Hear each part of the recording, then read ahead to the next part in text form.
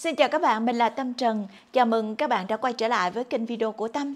như video trước mình có hứa rằng mình sẽ cùng nhau chia sẻ về dùng xịt khoáng đúng cách và khi nào thì nên dùng xịt khoáng. Hôm nay mình sẽ cùng nhau tìm hiểu về chủ đề đó nha.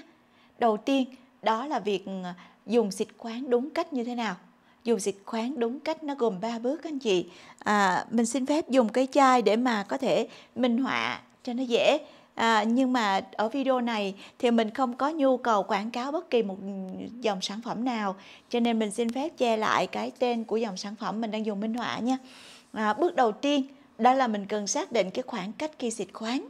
Đối với khi mà mình chỉ định hình cái lớp trang điểm cố định cố định cái lớp trang điểm của mình thì mình để khoảng cách của chai xịt khoáng của mình tầm 30 cm để mà xịt theo các anh chị ha còn nếu như mà mình muốn cấp ẩm cho da, thì mình thu ngắn cái khoảng cách đó hơn, từ 15 đến 20 cm gần hơn với gương mặt của mình. Và cái bước hai, đó là cái cách xịt của mình. Thì ờ, mình ờ, khi xịt khoáng thì mình lưu ý nhắm mắt, tại vì mình sẽ không để cho những cái ờ, nước này nó vô trong mắt của mình, nó cũng không tốt. Thì mình sẽ nhắm mắt lại và xịt nhẹ nhàng xung quanh mặt một vòng tròn, theo đường tròn ha các anh chị ha.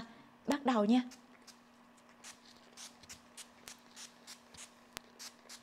đó sau khi mình xịt xong thì mình chuyển qua bước 3 đó là bước mà mình sẽ giúp cho khoáng chất nó thấm sâu vào làn da của mình. À, nếu như mình để khô tự nhiên thì cái cái khả năng bốc hơi nước nó sẽ uh, mạnh hơn và nó sẽ làm cho da mình nó khô hơn. Vì vậy mình nên dùng các cái ngón tay của mình để vỗ giúp cho uh, nước khoáng thấm vào sâu trong cái da của mình. Dùng nguyên tắc 10 đầu ngón tay ha thì ờ, vỗ đều như vậy như là gãy ngón đàn gãy phím đàn vậy các anh chị để giúp cho da mình nó thẩm thấu cái khoáng vào trong da. Đó là cái cách mà chúng ta dùng xịt khoáng đúng cách. Bây giờ thì mình sẽ chuyển qua cái việc là khi nào mình nên dùng xịt khoáng. À, theo các anh chị thì à, mình sẽ bảo vệ giữ gìn sức khỏe của mình khi nào các anh chị? Có phải chăng là khi mà còn sức khỏe để giữ không ạ? Mình sẽ giữ gìn răng của mình khi nào các anh chị? Có phải là rằng là khi mà mình còn răng để giữ không ạ? Không còn răng nữa thì mình đâu còn gì để giữ nữa đâu phải không ạ? Răng rụng rồi thì có có đánh gì được nữa không? Có bảo vệ gì được nữa không ạ? Và à, khoáng chất cũng vậy các anh chị da mặt mình cũng vậy. À, ừ, rõ ràng thì à, cái việc mà cung cấp khoáng này nó không chỉ là cấp ẩm giúp cho da ừ, tức thời cho da mà còn giúp cho cái quá trình chăm sóc da cũng như là hỗ trợ trong việc trang điểm. Vậy thì chúng ta sẽ dùng xịt khoáng này khi mà chúng ta còn mong muốn chăm sóc da của mình bảo vệ da của mình và giúp cho mình trang điểm một cách ừ, à, đẹp hơn bền lâu hơn thì mình cứ còn, vẫn còn dùng xịt khoáng anh chị ha. Vậy thì lưu ý là mình sẽ xịt khoáng, mình dùng xịt khoáng như thế nào nè? Sau khi mình rửa mặt mình sẽ dùng xịt khoáng. Nhưng mà nếu như các bạn có dùng toner thì nên là xịt khoáng sẽ sau toner.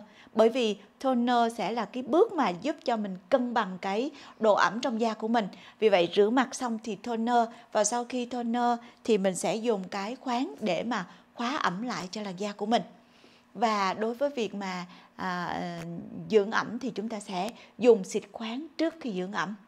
Được không ạ? Dùng trước khi dưỡng ẩm nha các anh chị nha.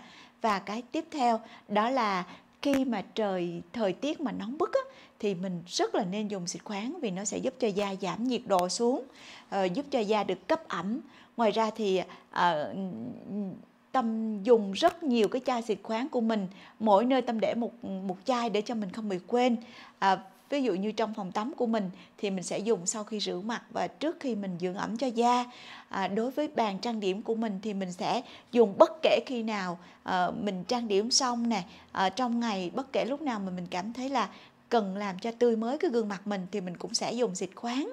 À, và à, trong bàn làm việc của mình thì mình càng dùng xịt khoáng nữa. Cứ vài một thời gian khoảng thời gian thì mình lại xịt khoáng lên để giúp cho da cấp ẩm để giúp cho da mình nó bảo vệ trước cái ánh sáng xanh của uh, các cái thiết bị điện tử nè.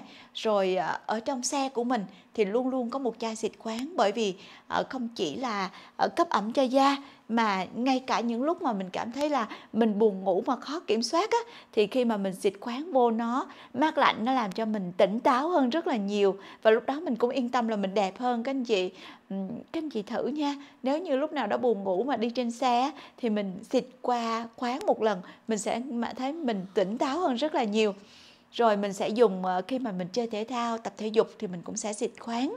Rồi mình đi du lịch thì càng phải xịt khoáng, nhất là đi tới những cái vùng nắng nóng thì càng cần xịt khoáng. Và khi mà da mình bị khô thì mình càng cần cấp ẩm. Đương nhiên thì cái xịt khoáng nó sẽ không thay nó sẽ là một cái gọi là cái cái bước mà bổ sung cấp ẩm tạm thời cho da thôi nó trên bề mặt da. Còn nếu như mà về nhà thì mình vẫn phải dùng dưỡng ẩm bình thường nhưng mà da khô thì rất cần rất rất rất cần tới uh, xịt khoáng nha các chị ha. Rồi cái uh, khi mà mình bị ngứa do uh, da khô uh, các cái hiện tượng ngứa đó, đó thì khi mà mình xịt khoáng thì nó sẽ hỗ trợ cho da mình rất là nhiều ngay cả khi căng thẳng cũng nên dùng xịt khoáng anh chị. Mình sẽ thấy mình dịu mát hơn rất là nhiều. Có nóng lên thì cái việc mà mát lạnh của khoáng chất của xịt khoáng nó làm cho mình sẽ được gần như cân bằng trở lại.